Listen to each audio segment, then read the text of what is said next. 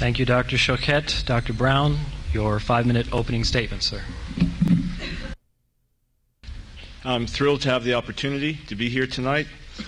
I welcome this uh, very much because we have a legitimate representative tonight of what calls itself authentic Judaism, which I will demonstrate to you begs the question and assumes what it wants to prove.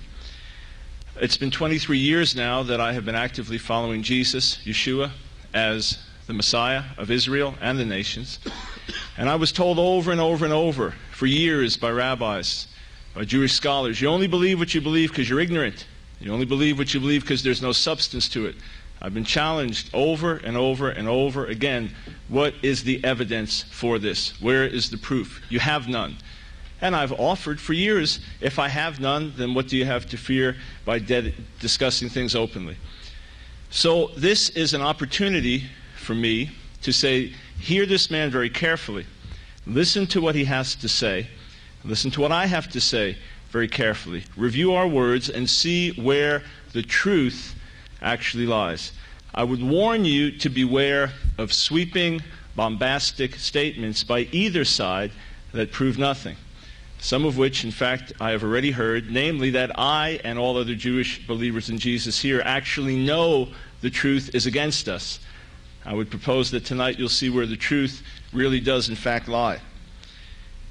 I personally heard on a videotape a challenge from Rabbi Schochet that he could not find anyone willing to debate him with a panel guaranteeing that there would be logical discussion and deduction, and that he would even do it on live television. So I'm very happy to answer that challenge. And by the way, historically, the very first debates, according to Christian recording, we were told that we could check the records, say that the Messianic Jews decisively refuted their rabbinic opponents, according to Acts 18:28. Uh, not only so, I've been involved in uh, many debates. We were just told that no time ever has the rabbinic side ever lost. I'd encourage you to check and see. Check the records, look, look at recent debates, and see. Now, this is going to be my approach tonight. Uh, I will first seek to demonstrate from the Hebrew Scriptures that Jesus is the prophesied Messiah, explain why it was that he had to come 2,000 years ago, according to the Scriptures, why he was to be rejected by his people, why he was to suffer and lay down his life as an atonement for the sins of the world, why he was to rise from the dead and be a light to the nations before his own people Israel would fully receive him, at which time he would then return and establish his kingdom on the earth. I will seek to demonstrate that from the Hebrew Bible. I was told many times as a new believer in Jesus that the New Testament authors shot an arrow and then they drew a bullseye around the arrow and said, Look, Jesus hit the bullseye. He fulfilled the prophecies, when in fact he fulfilled none. Quite to the contrary, I will seek to demonstrate that he hit the bullseye perfectly, and then later Judaism moved the target and said he fulfilled nothing. I'll do my best time permitting to refute all of the objections raised to messianic prophecy by Rabbi Schochet. What I will seek to demonstrate is that there is no actual substance in any of the arguments. So if I'm unable to get to every single one of them, what I hope to prove is that each one raised has the full value of zero, so that zero plus zero plus zero times a million still equals zero. I will use rabbinic literature for two reasons.